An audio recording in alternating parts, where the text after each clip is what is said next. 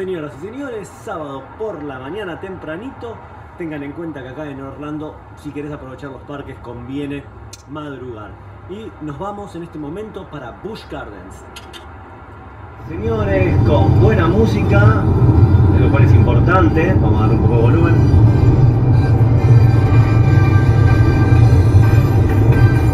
Van Halen para todo el mundo en la ruta yendo hacia el oeste, el destino Busch Gardens. Al mejor estilo eh, modo selfie, cámara viajera o viajando con los pelos al aire de Liz ahora van a salir las feministas ahora a decir, ay machista, machista, que esto que lo otro, me chupan huevo, porque Liz Solari fue a reemplazar básicamente a Pineda que si bien el modelito es bastante culto, el pibe la tiene clara, etcétera. La otra es una boluda que va con los pelos al viento diciendo taladeces. Eh, que en su currículum lo único que tiene es Solari, modelo. Obviamente ahora para subirte el precio te dicen modelo, conductora, cantante, bailarina, la pistola y toda la verga que se te puede ocurrir, cuando lo único que hizo fue cantar en la ducha y bailar que en su fiesta de 15, la fiesta de 15 de las amigas y Pachá, el cielo, lo cual muchas veces no cuenta, porque seamos realistas, la mayoría que van a bailar eh, a la noche o al after o lo que sea, eh, van, si son machos, a ver si las podés poner y, y al caso de muchas minas, y ahí van a salir nuevas feministas, van a buscar a algún macho, se encuentran un macho con guita que las mantenga, como sería el caso de algunos gatos, no digo que todos sean gatos, pero algunos que hacen mérito, digamos, para, para tener calificativo de gato. Pero bueno, olvidando el tema del Isolari, la ventaja que tienen de esto es que nosotros le vamos a decir la posta de cómo viene la mano con todos estos parques, no como muchos programas que eh, dicen básicamente lo que les paga algún sponsor porque digan eh, o directamente eh, la gente que hace el programa. Así que donde estamos yendo, como les comentaba, era Busch Gardens, que si conocen, los que no conocen Florida, Florida está en la costa este de los Estados Unidos, costa oeste sería California, voy a prender aire acondicionado, me estoy cagando el calor, eh, costa este de Estados Unidos y Busch Gardens sería costa oeste de la costa este. Si no se entiende bien lo que digo, miren un mapa, vean Florida y van a ver por qué les digo costa oeste de la costa este. Gran diferencia de este parque es que, a diferencia de los otros, valga la redundancia, que estás en 5 o 10 minutos de todos los hoteles, este tenés que manejar 45 minutos para llegar. Eh, en este caso me tira como que es una hora, con lo cual eso quiere decir que el tráfico está cargado, lo cual es una poronga. Y por eso les decía que bueno, que hay que madrugar aprovechar el parque, tengan en cuenta que estamos en invierno en Estados Unidos y el horario de parques es más reducido. Te abren a las 10 de la mañana generalmente, salvo que tengas alguna entrada especial. Y en términos generales, 6 de la tarde te cierran. Algunos parques, incluso en California, creo que cierran a las 5 de la tarde, más temprano. Eh, así que sí, la idea es madrugar si querés aprovechar bien los parques. Recuerden que suele haber mucha gente y muchas horas. Si bien estamos en temporada baja por ser invierno, es temporada alta nuestra y de Brasil y otros países, con lo cual hay muchísimo turismo. Muchachos, seguimos avanzando, estamos todavía un poco más de media hora en el parque, con lo cual sea el parámetro que es un viaje largo y en volante, todo derechito, derechito. Pero parece que no está tan cargado como daba la impresión el tráfico, por lo menos se mueve bastante bien. Eh, sobre Busch Gardens, antes de llegar, porque después me agarra la excitación y me olvido de todo. Es, a mi gusto y a mi entender, el mejor parque que van a tener acá en Florida. ¿Por qué? Porque son absolutamente todas montañas rusas y la mayoría están muy, pero muy topadas, que vale la pena hacerlas, salvo que seas medio flojito, se te afloje el cuerito ante la primera señal de poco de exceso de adrenalina y te cagues encima. En tal caso, no es muy fácil, te cagas encima derecho, es como que tenés los calzones, el pantalón, aguantás. Si vomitas es mucho peor porque vas a vomitar al pobre hijo de puta que va atrás de ti en la en el puto asiento de la montaña rusa y no va a ser algo muy muy feliz. Eh, así que si les gustan las montañas rusas y vienen acá para Florida, no dejen de ir a Busch Gardens. Después obviamente tienen todas las demás cadenas que son, o las dos cadenas principales, Universal, ¿sí? con sus tres parques, que son Islands of Adventure, eh, el otro que ahora no me sale, no me acuerdo cómo se llama, y Volcano Bay, que es parque de agua, que si hace calor, anda, no hay ningún problema por más que sea invierno.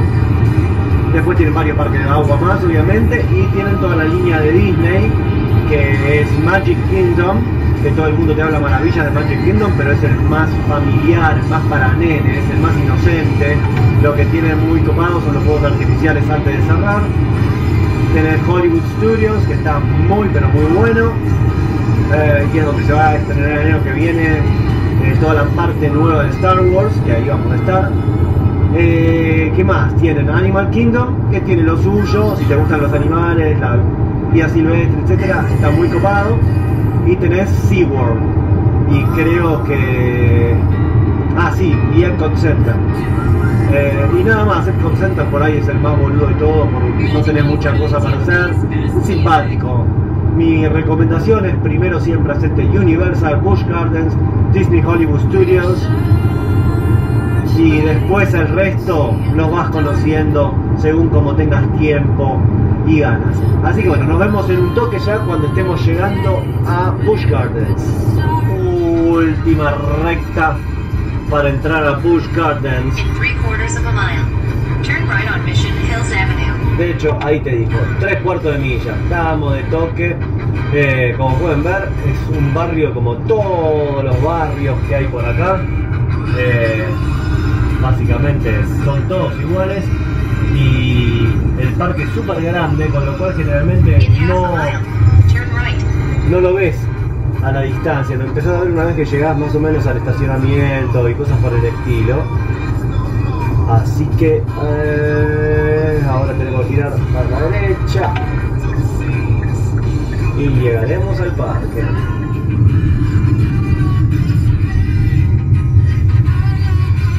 Cuando tienen un cartel acá, como el que tengo yo, que te dice stop, tenés que frenar, papi. Frená a que el auto se te ponga en cero.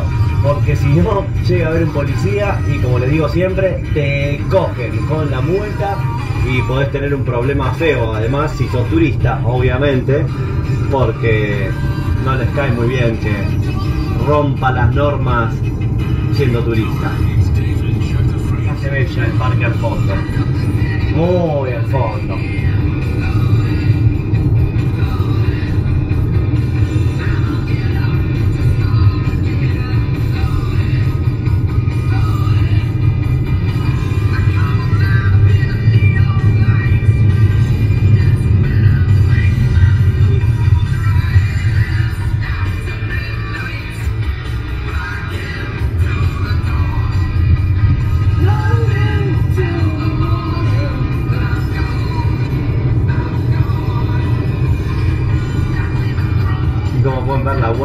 Va, como pueden escuchar, la buena música nos, nos acompañó durante absolutamente todo el viaje. Eso es lo bueno que tiene la radio acá. Pagás una de rock y vas bien. Yo no sé allá, pues no escucho radio en Argentina. Este, típica venta de garage. No sé cómo viene hermano con la radio en Argentina. Si, hay alguna radio que pasa realmente todo buen rock. Eso quiere decir que no te filtren un, una banda de rock pedorra nacional. Pedorra que no quiere decir que no la escuche mucha gente, por ahí te la escucha muchísima gente y sos una banda de mierda. Eh, como por ejemplo el hijo del puta del Piti y compañía, ¿no? Pero bueno.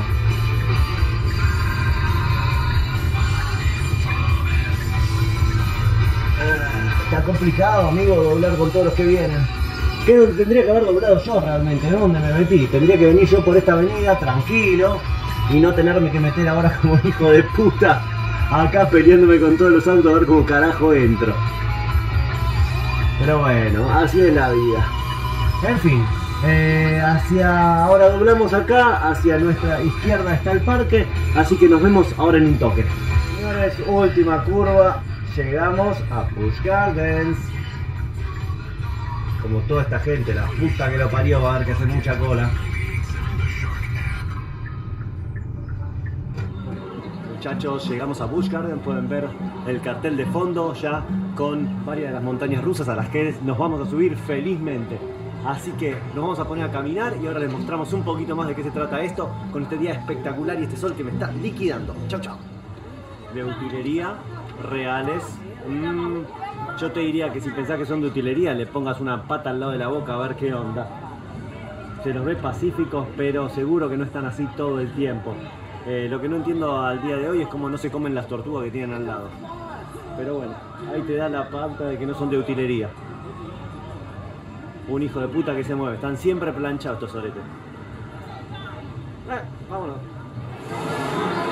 Chicas y chicos, estamos en Chittahan, que es una de las montañas rusas a las que más viene la gente, porque como principal característica tiene que llegar a 70 millas por hora en unos pocos segundos, tipo 3-4 segundos.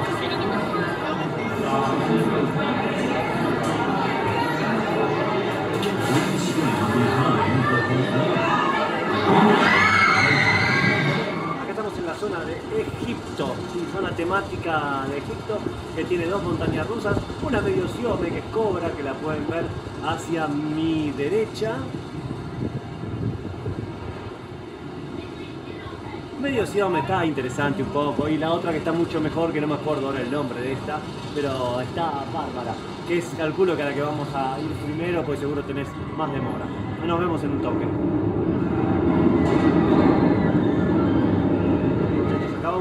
Shikra, que es la mejor montaña rusa que van a encontrar acá en uh, Busch Gardens y está en fucking mantenimiento. Así que la quería hacer varias veces y ni siquiera la voy a poder hacer una. ¡Qué poronga! Pero nos venimos a Kumba, que es otra que está bastante copada. Que bueno, a falta de Shikra, ¿qué le vamos a hacer?